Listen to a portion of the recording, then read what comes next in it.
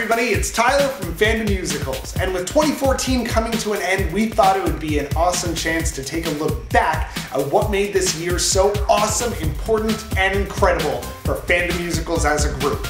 Let's rewind all the way back to January 2014. Coming off of Fandom Hearts, we decided the first thing we would do to try and raise some money for our next show.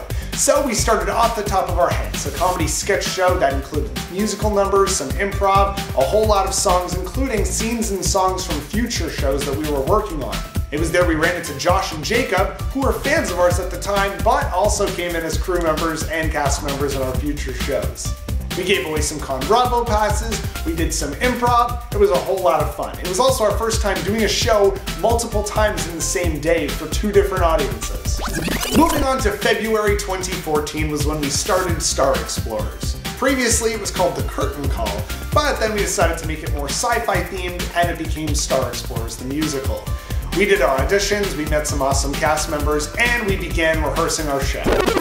May was an important time for us because we got to screen Fandom Hearts the Musical at Anime North in a huge room on a huge projector screen. We got a merch table as well so that we can sell our stuff, and we got to meet some fans, and it was an awesome time. We even got to do a panel on the Sunday talking about what it was like to make the musical and where we were headed in the future. Also, the audience members who were at the screening got to take a look at a special sneak peek of Star Explorers that we didn't show anywhere else. Fast forward to July, where we had our second full-length musical Star Explorers perform at Con Bravo in Hamilton. It was an incredible experience. We got a full merch table this time around, got to meet some people, sell some stuff, and we had some pretty awesome people come up to us after the show and tell us that they enjoyed it. In August, we launched our second Indiegogo campaign to raise money for our next four shows, which included Frostbite, a Canadian zombie musical, and Animazing, X Musical, and Fandom Hearts 2. At the screening, Dr. Holocaust joined us as a guest, took over the show, killed me.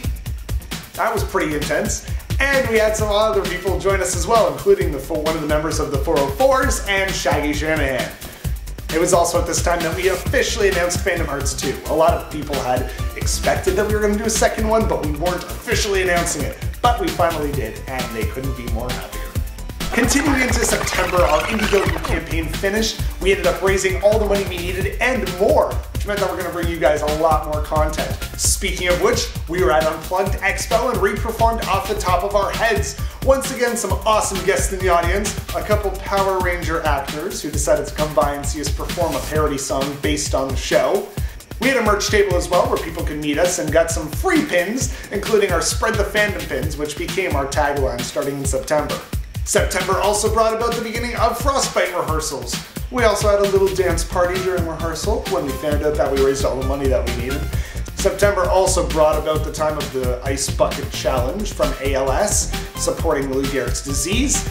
We took part in it because a fan of ours decided it would be fun to nominate us. So a bunch of us got in on that. October saw us getting into the Halloween spirit by releasing a couple teaser trailers for Frostbite, the Canadian zombie musical. We also got to see our good friend Devin Otterman at Shadow Shoveler Productions do a review of our show Star Explorers, which got us really happy to see. If you guys ever have a review, text, or video, or even do a cover of one of our songs, please send it to us because we would love to see it and we would love to share it with all of our fans.